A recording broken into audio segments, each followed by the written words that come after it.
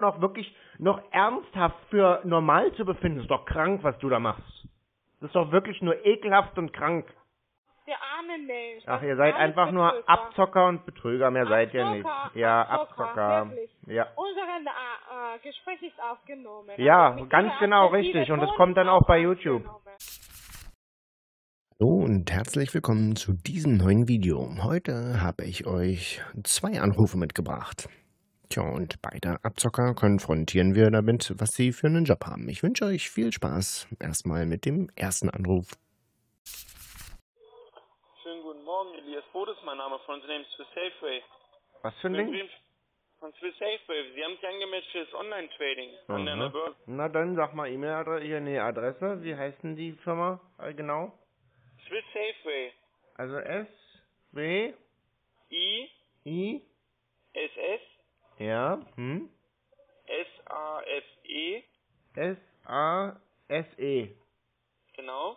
ja, W, A, Y. Äh, W, A, Y, ja, hm, Genau. und dann? Genau. Sie haben sich heute Morgen angemeldet für das Online-Trading um 8 Uhr. Um 8 Uhr, natürlich, da hab ich noch nicht geschlafen. Okay. Mhm. Mit wem spreche ich denn da gerade? Ja, mit denen, den sie angerufen haben. Sie müssen ja wissen, mit wem sie sprechen Herr wollen. Klabautermann. Ja, so, jetzt brauche ich hier mal bitte die ganze Domain, nicht bloß die halbe. Punkt und dann? Punkt .com. Punkt .com. Ja, geht schon gut los. Der Typ, der meint, ich hätte mich um 8 Uhr morgens bei seiner Webseite angemeldet. Wie ihr wisst, tja, vor 12 Uhr passiert bei mir eigentlich in der Regel relativ wenig. Das heißt gar nichts. Also ich kann mich gar nicht bei ihm angemeldet haben auf der Webseite, sondern man hat einfach meine Daten dort eingetragen. Tja, das ist typisch für diese komischen Trading-Betrugs-Webseiten. Gibt's nicht die Seite. Die Seite wurde nicht gefunden. Die Seite gibt's. Sie haben auch zwei E-Mails von uns bekommen. Ja, geht ja bei mir nicht auf. Dann äh, sag mal nochmal die Domain. S, W, I, SWI, hm? S, S. SS, Dann nochmal ein S. noch ein S, ja? Also für Safe. Hm? A, F, E. A, F, E, hm? W, A, Y. W, A, Y. .com. Hm. Jetzt kommt hier was mit so blaue Vierecke. Ja, da habe ich mich heute Morgen nicht angemeldet. Die haben, nee, die haben sich bei Bild angemeldet und das ist ein Werbeportal. Man kann ja nicht direkt bei Bild handeln und wir sind ein Handelsportal. Ne, bei Bild habe ich mich auch nicht angemeldet. Tja, genau genommen ist diese Auswahl, äh, diese, diese Antwort nichts anderes als eine Lüge. Natürlich kann man bei der Bild nicht handeln, aber die Bild weiß von diesem Beitrag auch überhaupt nichts und die Webseite, die stammt auch nicht von der Bild. Denn ich habe mich äh, lediglich auf der Webseite also die Domain oben ist, ist schon ganz anders. Ne? Also es ist, wird aber ein Bildlogo oben drüber geklatscht und dann steht hier, die Hülle der Löwen macht Schweizer Reich mit Öl. Die Folge darf nicht ausgestrahlt werden. Der Sender ist wütend. Das ist absoluter Blödsinn. Das ganze Ding ist erfunden, erlogen und eine komplett ausgedachte Geschichte und das Logo von Bild wird hier missbraucht. Das Ganze ist nichts anderes als eine Betrugswebseite. Außerdem habe ich mich hier nicht um 8 Uhr morgens angemeldet, sondern irgendwann den Tag zuvor abends. Und bekomme dann am nächsten Morgen um 8 Uhr einen Anruf mit der Meinung, dass, dass ich mich da um 8 Uhr angemeldet haben sollte. Also völliger Blödsinn, stimmt nicht, es ist alles gelogen und erfunden und die ganze Geschichte ist von vorne bis hinten einfach nur faul. Okay. Das Die- war so ja. eine Seite mit Höhle der Löwen, aber die war von, von Bild. Okay. Ja gut, aber machen wir mal weiter im Programm hier. Hm? Gut, Sie haben auch heute ähm, bei Klaus.klabautermann eine E-Mail von uns gekriegt. Zwei Stück. Ja, ich kann ja mal, Replay. ich kann ja mal reingucken.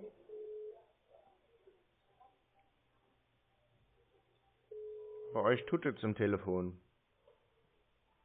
Das kann sein, dass meine Sitznachbarin ist. Und warum telefoniert ihr auf Lautsprecher? Nein, tun wir nicht. Ja, aber warum tut es denn das denn?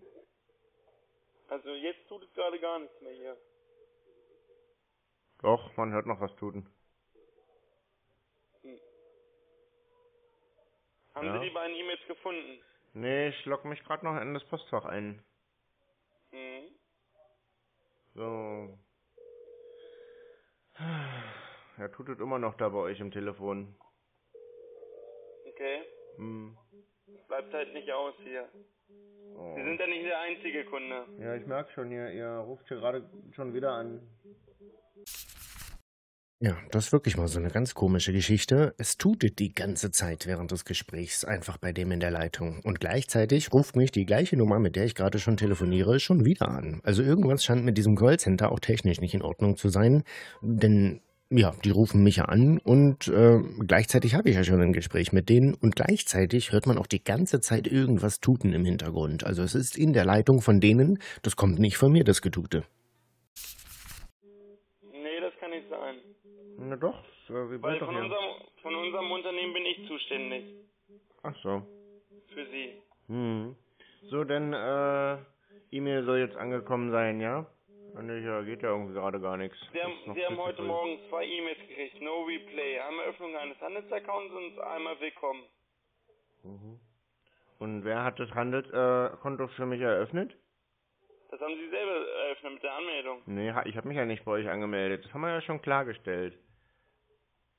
Sie haben sich auf ein Werbeportal angemeldet. Auf, auf dem Werbeportal kann man nicht handeln und dadurch erstellt sich das automatisch ein Konto bei uns. Ach so, okay. Hm. Tja, aber das berechtigt ihn noch lange nicht bei mir anzurufen. Aber die Firma ruft ja an. Also daran ist einfach zu sehen, dass daran was faul ist, was die hier machen. Tja, Kaltakquise. Und der Anruf ist grundsätzlich rechtlich nicht erlaubt. Und wie gesagt, die Bild, die weiß darüber überhaupt nichts über die Webseite. Das ist denen sicherlich zwar bekannt, dass es ähm, diese Betrugsmasche gibt. Das kann sein, ja. Aber die Bild hat auf jeden Fall diese Web oder mit dieser Webseite an sich überhaupt nichts zu tun. So, und wie komme ich jetzt da bei euch denn rein? So, dann öffnen Sie mal bitte die E-Mail mit Öffnung eines Handelsaccounts. Ist noch nicht gekommen. Ich habe seine E-Mail nicht bekommen hier. Vielleicht im Spam oder Nee, da ist auch keine. also kleinen Moment. Klaus. Punkt Klabautermann at webmail.com. Ja, da haben wir schon das Problem. Webmail habe ich nie eingegeben. Okay. Sowas besitze ich gar nicht. Also irgendwer müsste sich ja da mit dieser E-Mail-Adresse angemeldet haben. Ja, weiß ich nicht. Also, Weil wir ziehen uns hier nicht irgendwie aus dem Kopf. naja, ich meine, von Datenschutz habt ihr ja scheinbar nichts gehört. Sonst, Wieso? Naja, ihr wisst schon, dass ihr zum Anrufen einen Doppel-Opt-In braucht, wenn ihr 250 Euro von mir betrügen wollt. Was mit eurem tollen Trading-System, was auch immer ihr da so macht. Aber es ist auf jeden Fall wieder eine Seite, die in meine Liste kommt. Ja, okay. Ähm, wo seid ihr reguliert und registriert? Steht alles auf unserer Seite. Ähm, steht nicht auf eurer Seite. Habe ich gerade probiert, hier mal nachzugucken. Dann sag mir wo. Steht ganz, also wenn Sie auf der Mhm. Seite sind, scrollen Sie ganz, ganz, ganz, ganz nach unten. Bin ich? Und, und da steht alles. Nein. Doch, Ich ganz sag- unten. Dann links. sag mir, dann sag mir die Nummer. Lies mir die Nummer vor. Wo, bei, bei wem seid ihr registriert? Lies mir die Nummer vor. So, die Nummer. Ganz unten steht Swissway, Swiss Safeway und darunter steht dann alles. Ja, eben ja nicht. Lies mir die Nummer vor. Tja, das kannst du wohl nicht, ne? Ja, kommt da jetzt noch was oder habe ich euch jetzt erwischt beim Betrügen? Sie müssen ganz unten gucken. Ja, dann Da sa sag mir die Registrationsnummer. So Leute, jetzt noch mal ganz kurz davor, dass ich ähm, ja auch mal einen kleinen Ausraster am Telefon bekomme und mich kaum noch selbst zusammenhalten kann. Denn der Betrüger, der ist wirklich einfach nur dumm dreist. 1046 Ja, und bei wem soll ich die eingeben? LLC 2021. Steht Hm. alles unten, wie ich gesagt habe. Ja, und bei wem soll ich die suchen, die Nummer? Bei wem soll ich die suchen? Das weiß ich doch nicht, wo Sie die suchen wollen. Ach, komisch, dass die Nummer nirgendwo existiert, ne? Doch, die, die ist registriert. Dann prüf es selber einmal nach. Aber was, ich frage mich gerade, was wollen Sie denn von mir? Sie haben sich angemeldet zum Äh, Online-Trading, oder nein, nicht? falsch. Sie haben mich angemeldet und Sie haben mich auch noch angerufen. Das sind schon mal zwei illegale Sachen. Nee. Doch, red dich nicht raus, Nein. scheiß Betrüger. Hör auf, Scheiße zu Nee, labern. nee, Du bist nee, nichts anderes als ein Abzocker und ein Betrüger. Wirklich. Also Sie haben sich angemeldet? Nein, hab ich nicht. An. Scheiß Nein, Abzocker, scheiß Betrüger. Such dir einen anständigen ja. Job. Das, den habe ich im Gegensatz zu Ihnen natürlich. Ja, das glaube hab ich aber nicht. Ja, das glaube ich nicht. Du kannst mir nicht mal sagen, wo ihr registriert und reguliert seid. Abzocker, Betrüger, mehr seid ihr nicht. Nee, nee. Wirst dich auf jeden Fall bei YouTube hören können. Nur so nebenbei. Hm. Na, noch was zu sagen? Also wie gesagt, Sie können alles auf unserer Seite nachlesen. Nee, kann man nicht. Lügner. Lügner. Natürlich. Ekelhafter sich- Lügner. Nein, das auf. stimmt nicht. Ihr seid einfach So. Lügner, Abzocker, ekelhafte Abzocker und Lügner und das mitten, äh, mitten in der Nacht hier. Mhm. Ekelhaft, einfach wirklich nur widerlich dein Job. Ja. Such dir was Ja. Anständiges. Sag mal, schämst du dich eigentlich nicht dafür, was du da für einen Job machst? Schämst du Also dich ich da überhaupt nicht für? Wieso? Das ist ein normaler Job. Ach, das, wird, das ist kein normaler Job und du brauchst mir auch nicht erzählen, dass das ein normaler Job wäre. Traust du dich überhaupt noch bei deiner Mutter überhaupt unter die Augen mit dem Job, den du da, da machst? Das ist doch ekelhaft, sowas, Leute zu verarschen. Und das dann auch noch wirklich noch ernsthaft für normal zu befinden, ist doch krank, was du da machst.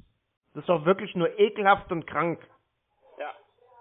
Also ich glaube, Sie haben zu viel Langeweile. Nee, ich glaube, du hast einfach keinen anständigen Job. Natürlich habe ich Nee, hast du nicht. Erzähl mir keine Scheiße, du hast keinen anständigen Job. Das ist Ja. ekelhaft, was du machst. Genau. Mhm. Du kannst mir nicht mal sagen, wo ihr reguliert seid. Geht nicht, weil ihr, du Nochmal, kannst es es steht einfach alles nicht. auf der Seite. Ja, das steht da nicht auf der Seite, du Würstchen.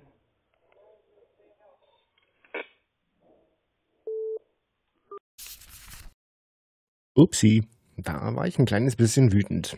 Naja, auf jeden Fall hat er es nicht anders verdient. Denn er betrügt Menschen, zockt die Leute ab und versucht, ja, euch euer Geld zu berauben. Und sowas ruft bei euch an.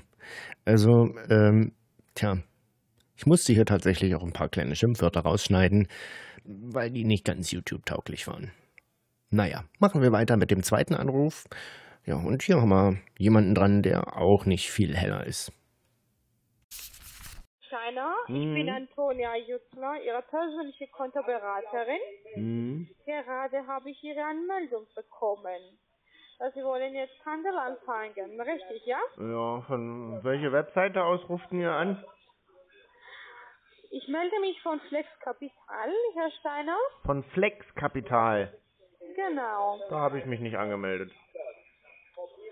Also die Werbung, was Sie gesehen haben, ist das auch keine Firma. Das Aha. ist die Werbungname und deswegen kriegen Sie von meiner Seite den Anruf, ja? Diese Werbung gehört unserer Firma. Aha. Okay, na dann los. Okay.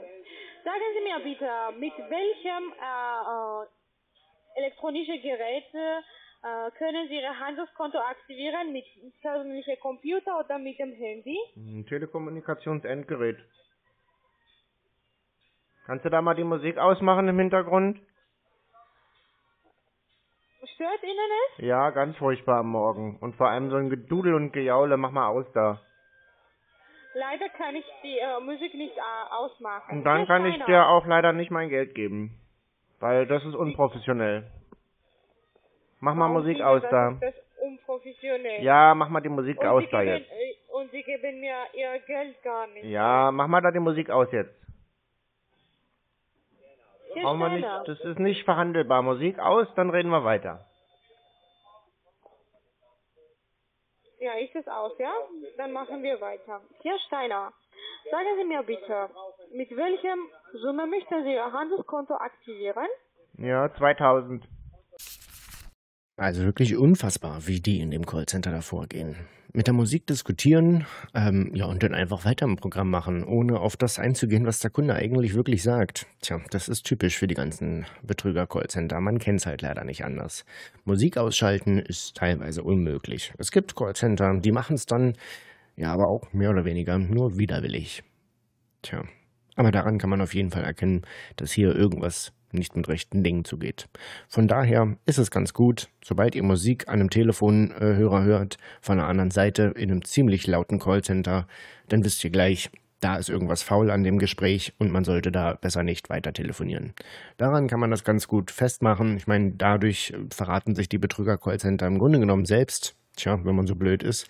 Aber das ist schon mal der, einer der besten Hinweise, wo man drauf äh, ja, achten kann. Mit 2000. Okay.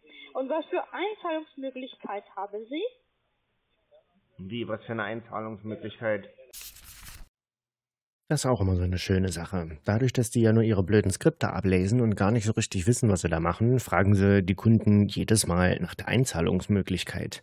Ja, was weiß ich denn, was die für Einzahlungsmöglichkeiten anbieten? Also, soll ich mal eine ausdenken oder was ist damit gemeint? Jedes Mal diese dämliche Frage, die ergibt eigentlich nie Sinn, nicht mal im Ansatz, aber die steht in jedem Skript von jedem Betrüger-Callcenter, die mit Training zu tun haben. Zauberstab wird's ja wohl nicht sein. Haben Sie Mastercard, Visa Card? Ja, alles vorhanden. Alles haben Sie. Hm. Welches haben Sie? Ja, alles, was erwähnt war und noch mehr. Mhm. Okay, also dann, wie werden Sie das machen? Ja, selbstständig. Also ich mach das. Ja, okay. Ja. Dann gehen Sie bitte im Google.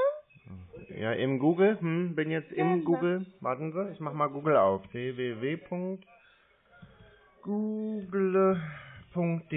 ja. Jetzt bin ich im Google. Okay. Und schreiben Sie bitte Flexkapital. Das ist F wie Friedrich, Äh, ja, L wie Ludwig, ja, E wie Emma, ja, das heißt Emil.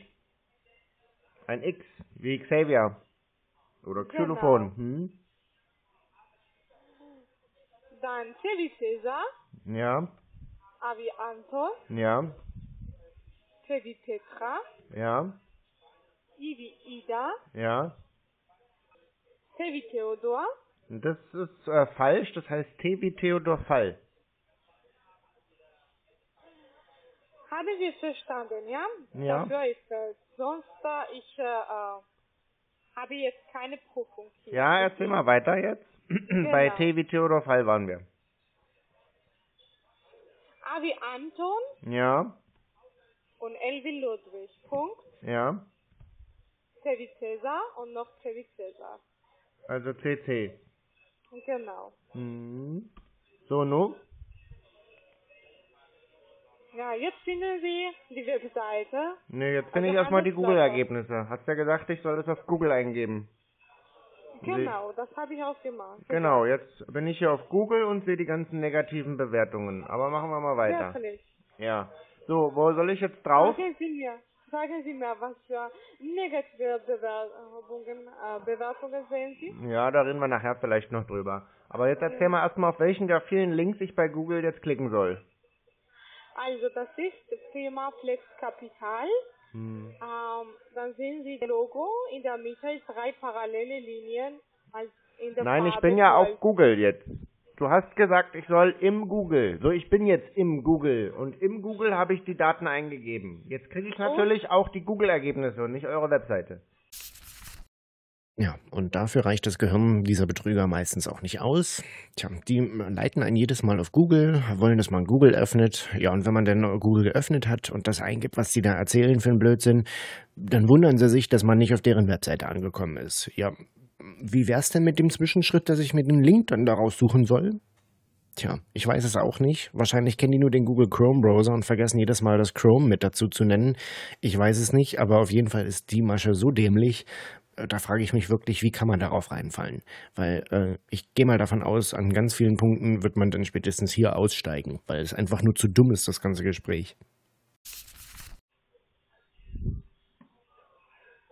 Ja. Ja. Und? Ja, und wo, den auf welchen? nicht? Nee. Nee. Ich sehe halt die Dann Google-Ergebnisse.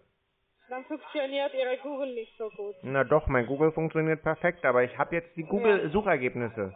Und auf welches dieser Suchergebnisse soll ich jetzt klicken? Ja, das habe ich auch Ihnen erklärt. Also Sie finden Nee. jetzt äh, die Handelsplattform. Also äh, sehen Sie das auch. Und habe ich auch gesagt, Naja, welcher der vielen Links ist denn eure Handelsplattform? Ich habe jetzt zum Beispiel hier oben gleich als erstes eine Werbeanzeige, da steht äh, finfa.vo. So, das nächste, was ich habe, ist flex.kapital. Das nächste, was ich habe, ist äh, personal-reviews.com. Welche Seite ist denn jetzt eure von den Google-Suchergebnissen? Gehen Sie noch unten. Noch weiter runter. Das, genau. War noch nicht dabei. So, dann haben wir jetzt hier Flexforex.com.